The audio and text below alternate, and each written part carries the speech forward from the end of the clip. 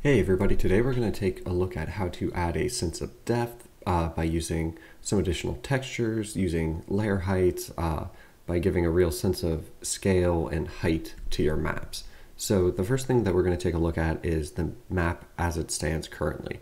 This is a place that you might quickly find yourself at where you've got a uh, filled in prairie background, you've placed a lake and everything like that, You've used the scatter tool to put trees and bushes all around, and things are looking decently, but there's uh, a little bit that's missing.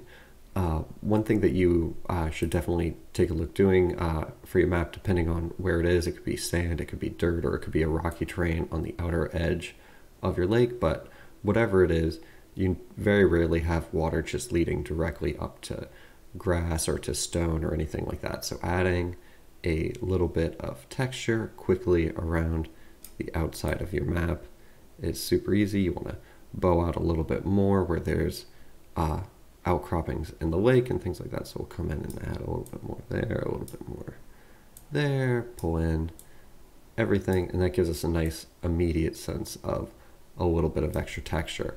And then the other thing that you'll notice is that you've still got your shimmering grass underneath. Now, you could say that that's you know, ripples on the lake or anything like that. But let's go ahead and add a little bit of a different texture under the water so that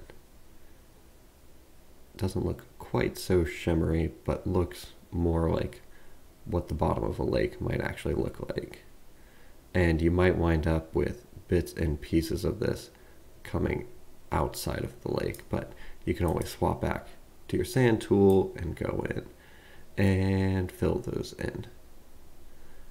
There we go. So now that we've got a little bit of texture for the lake, we've got a little bit of texture for the sand on the outside area and it's starting to look good, let's go ahead and start adding some stuff inside the lake that gives it a little bit of character. So, it gives this map a little bit of a story.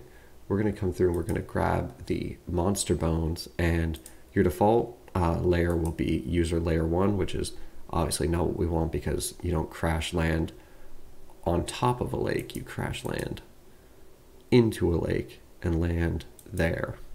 So now we've got a cool effect where we've got the these monster bones hanging out at the bottom of this lake.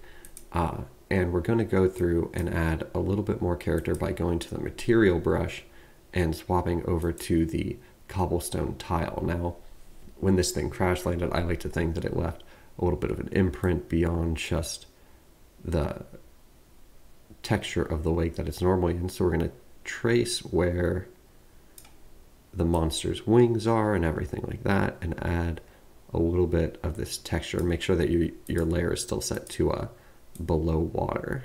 There we go. And once we've got all of that mapped out properly, we can see that there's a little bit of an indentation into the lake additionally uh, where this creature is crash landed. And if it crash landed, there's a good chance that it brought some additional stone or rock down with it when it collapsed. So we can come back to the object tool and we'll use the scatter tool this time and switch over to the nature or the nature tag and select a handful of stones and we can get all the way down to these like multiple pebble areas and we're going to want to set this to be below water as well. Uh, the scale can be pretty much any size you want for however many rocks you want. We don't want to have too many rocks, so we'll just come through and kind of place these around in a couple different places. There we go. And we don't want to fill up too much of the area uh, because we still want people to see the normal underwater uh, earthen area. And now that we've got that, uh, all the stone that collapsed with the creature has to have come from somewhere. So let's go back to the material brush. And this time we're going to use the rock tile and we're going to build kind of an outcropping that goes above. Now we're still set to uh, below water for a layer. So we're going to want to go up and I would say skip user layer one because that's where your trees and where all of this other stuff got added. And if you add it there, then these trees will be on the same layer and they might start appearing over your outcropping or under it, depending on how you want it. Uh, so actually, I mean, if you want the trees to be going over and it's a low cliff or something like that, you can use user layer one and place the trees on user layer two, or just use the over under settings when you're placing objects. But we'll go to user layer two because I want this to be a pretty big cliff and we're going to fill out this area all the way around. So we're going to just lose some of those trees uh, and then we're going to outcrop it just a little bit here, add some over here. There we go. And now we've got a cool cliff overhanging where this creature has collapsed. And let's go through and actually add a little bit of grass to it too. That way it's not just all stone, but we can also, you know, remove bits and pieces of it just to give it a little bit more texture, go into a smaller amount here on the edge. And I like to think that maybe it was a famous fighter in the past or something that defeated this thing. So we can come over to the object tool, we'll get out of our tags, go back to the full library and find the statues which are in here somewhere. Not just the normal knights. Yeah, here we go.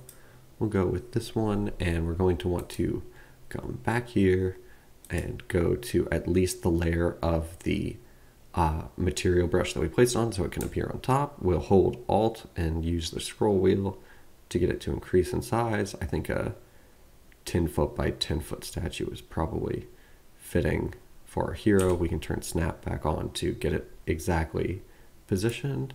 Click there and all of a sudden we've got a pretty good texture and different levels to the map where players can come through and your description of below the water you see broken stones, you see bones creeping up through uh, through the dirt of the lake and you look above and you see a statue that's overhanging or overhanging the area uh, of a gallant knight with a, a, clasped sword or something like that.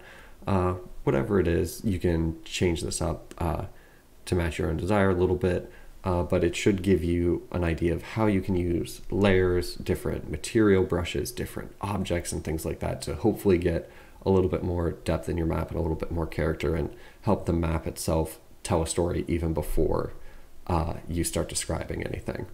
Uh, be sure to check back for any more tips or tricks or anything like that. Uh, I hope this has helped.